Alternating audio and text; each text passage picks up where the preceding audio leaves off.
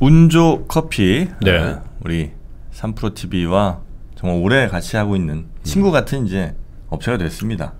상장할 때까지는 상장하고 나시면 뭐 KBS나 MBC 이런데 선전하시겠지. 그때까지만 우리 열심히 하자. 네. 아 이렇게 우리가 잘 키워서 그럼 KBS로 아이, 같이 나눠 먹어야지. 알겠습니다. 자, 운조 커피. 그게 저렴하다. 네.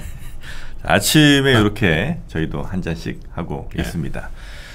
자, 운조 커피와 함께하는 아, 3월 11일 오늘 아침 페이지 2 첫 번째 뉴스 뉴스 3의 첫 번째 뉴스는요.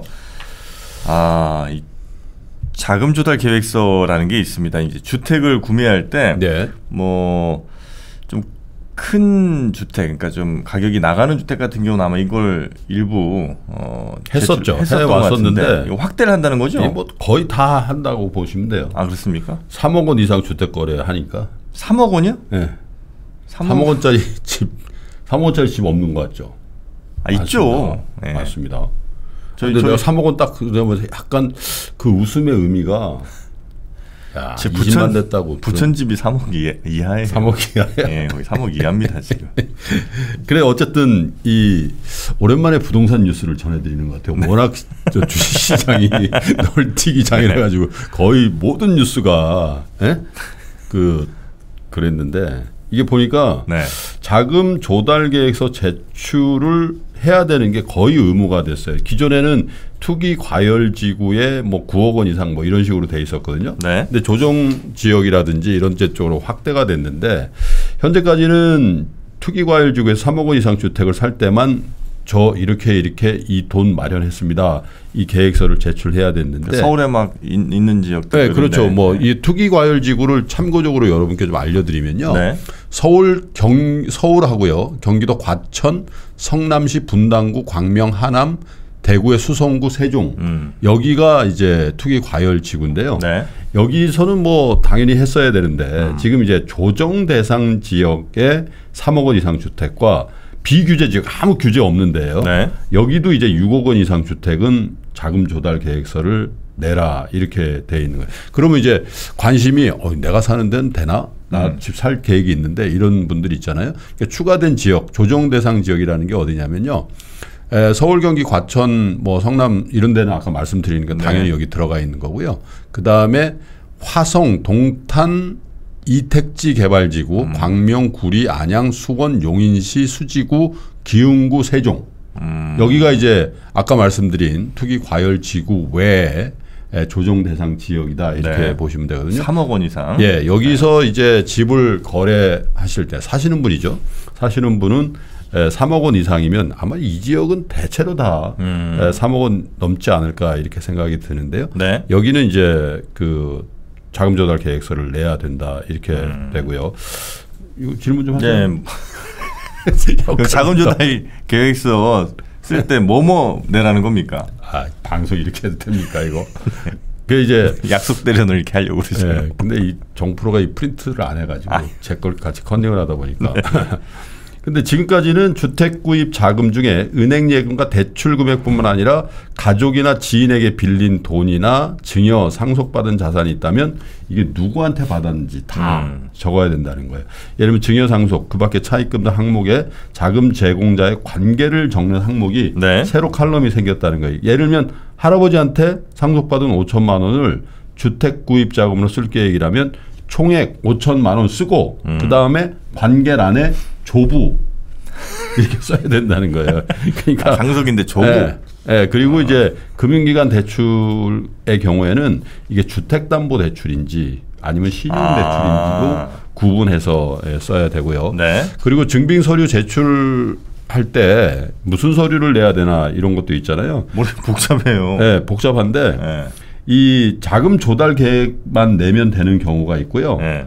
자금 출처 증빙 서류를 또 따로 내야 되는 경우가 있거든요. 자금 출처 증빙 서류. 예, 예를 들면 아까 예를 들면 그 대출이다 그러면 대출 받은 서류라든지 네.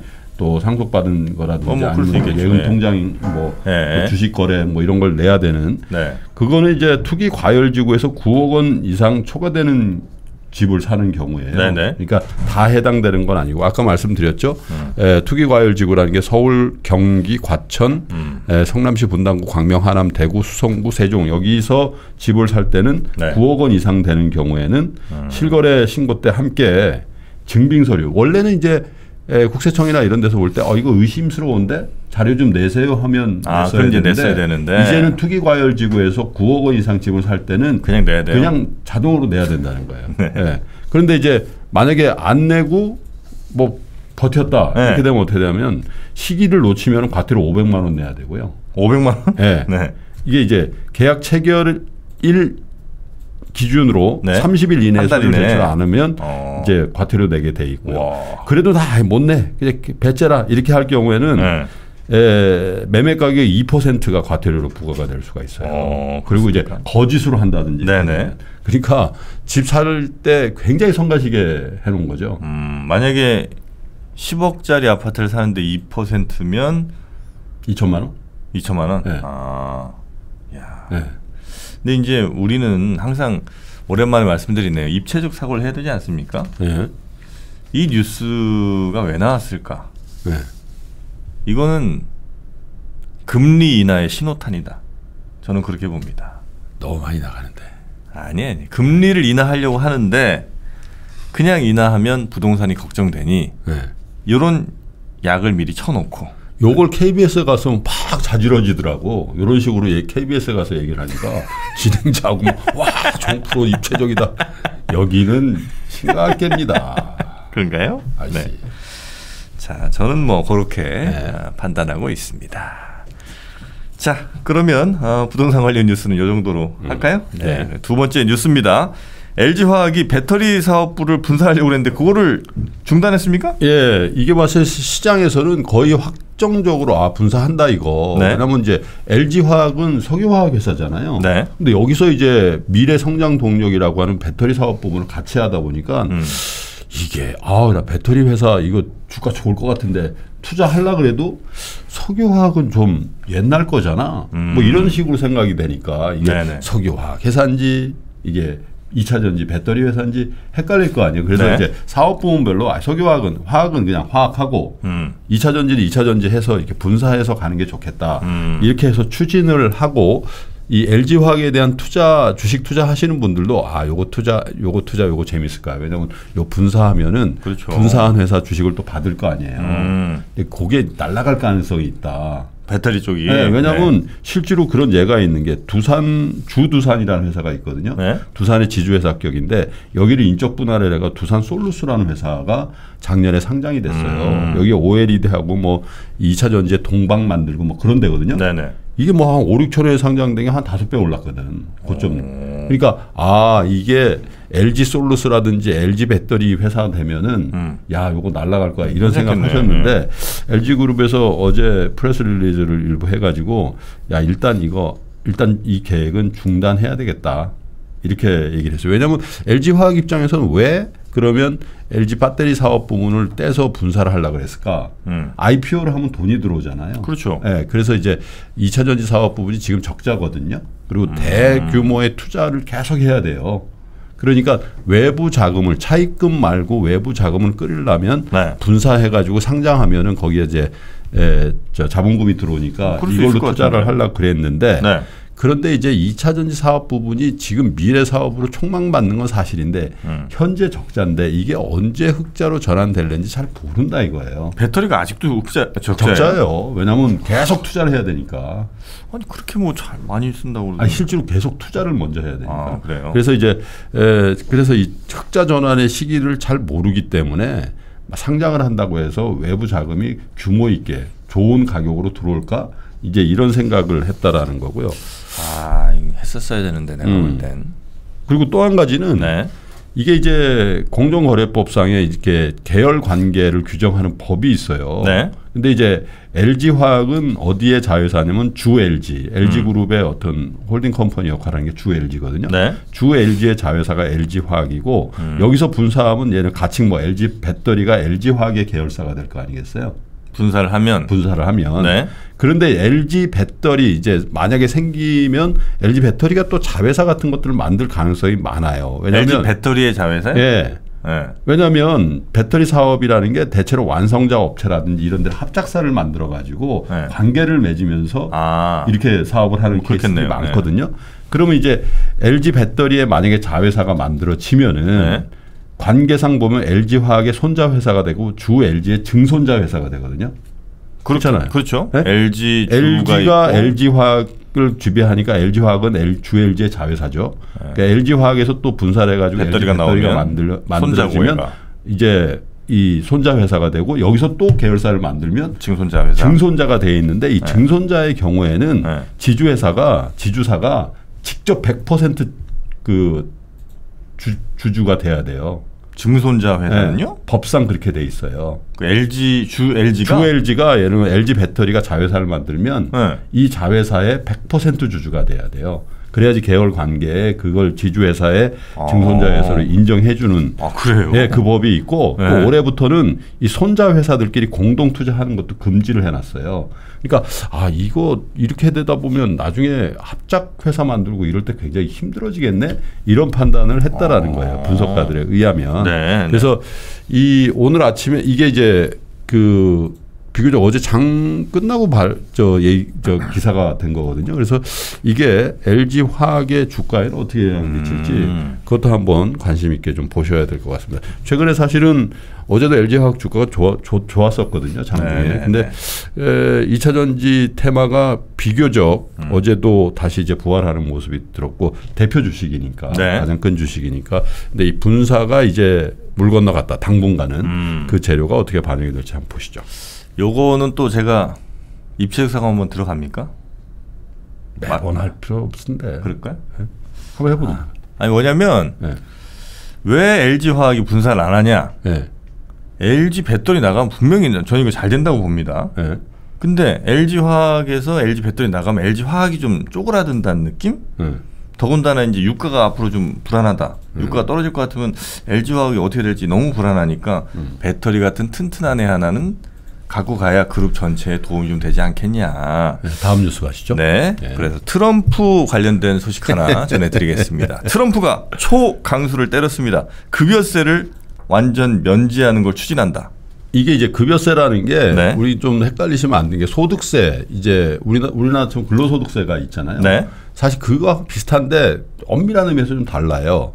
이제 미국의 이 급여세라는 건 영어로 하면 payroll tax라고 하거든요. 음. 근데 payroll tax가 어떻게 되어 있냐면 구성이요. 예를 들면 에 만약에 이제 paycheck을 받잖아요. 네. 그러면 이제 그 withholding이라고 이제 미리 이 원천 징수를 해요. 원천 징수를 하는데 100만 원 받으면 5만 원 떼고 준다는 그렇죠. 거죠. 예. 근데 이제 이 payroll tax를 연방에도 내고 주에도 내는데 네. 지금 다루는 건 연방일 거예요. 음. 대통령이 하고 있으니까.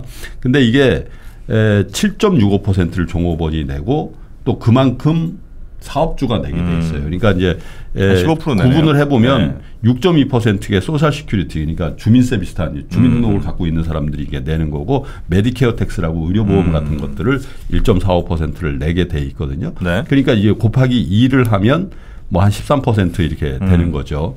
근데 이제 민주당이 이제 하원을 장악하고 있기 때문에 네. 감세안을 냈다고 해서 트럼프 대통령 마음대로 할 수 있는 건 아니죠. 음. 근데 11월에 이제 선거가 있잖아요. 그러면 민주당 입장에서도 야 이거 당혹스러운 거예요. 선거용 이거 아니 선거용인지 뻔히 알겠는데 그렇다고 반대를 해? 지금 그러면 민주당 욕은 자기네 다 먹을 수도 있고. 아니 그렇지 욕 욕 욕받이가 될 수 있죠. 네. 그런데 그래서 이제 민주당 쪽에서 뭐라 그러냐면 야 이거 저소득층에는 별로 도움이 그안 된다? 도움도 안 된다. 왜냐하면 이 정도 세금 내면은 비교적 이제 tax return이라고 네. 연말에 이제 거기는 연말이 아니죠. 연초에 이제 환급 받을 때 네. 환급 받을 때 대체로 아이들 거 뭐 교육비 낸 거 이렇게 해서 환급을 받기 때문에 아. 사실상 이 정도는 별로 저소득자한테 도움이 안 된다라고 얘기를 하고 있어요. 네. 근데 제 생각에는 그렇지 않을 거래요. 왜냐하면 제가 말씀드렸잖아요. 이게 자영업이나 고용하고 있는 사람도 내야 되거든요. 음. 무슨 얘기인지 아시겠죠? 네네. social security 6.2%를 그 직원분을 떼고 떼고 주지만. 거기다가 6.2% 사업주가 네. 보태 가지고 내는 거예요. 네. 그러면 내가 지금 장사가 안 돼. 음. 이 지금 미국 장사가 안 될 거 아닙니까? 가뜩이나 임금 주기도 힘든데. 네. 그러면 세금까지 더 사업주 입장에서 그것도 영세한 사업주 입장에서 음. 법인세를 못 낼 정도의 영세한 사업자 입장에서는 이거는 내야 되거든요. 네, 네. 월급을 고용을 하면 음. 그리고 이 사람들한테 굉장히 좋은 거예요. 음. 그리고 기본적으로 tax return에서 얼마를 받는지 모르지만 미국은 소비의 사회이기 때문에 네. 일단 안 떼고 받는 거예요. 천 불이면 예를 들면 뭐 예를 들면 65불. 65불, 70불 이상 70불, 네. 그냥 내가 받는 이건 거의 다 저소득층의 바로 소비거든요. 음. 그렇기 때문에 제 생각에는 경기를 살리는 데도 효과가 있고 또 아이 나한테 미리 많이 준다는데 싫어할 사람이 그거 싫어할 사람이 어디가 있어요. 그렇죠. 예. 그래서 생각보다는 이 payroll tax를 감면한다는 얘기가 나왔을 때 뭐야 제로 퍼센트까지 하겠냐? 근데 어제 얘기 나온 게 올해 연말까지 완전 면세. 아, 한시적으로. 예. 음. 아, 영원히 하면 미국 거덜나니까 안 되고 올해 연말까지 네. 완전 면세 카드를 예, 들이밀었는데 트럼프 다 와요.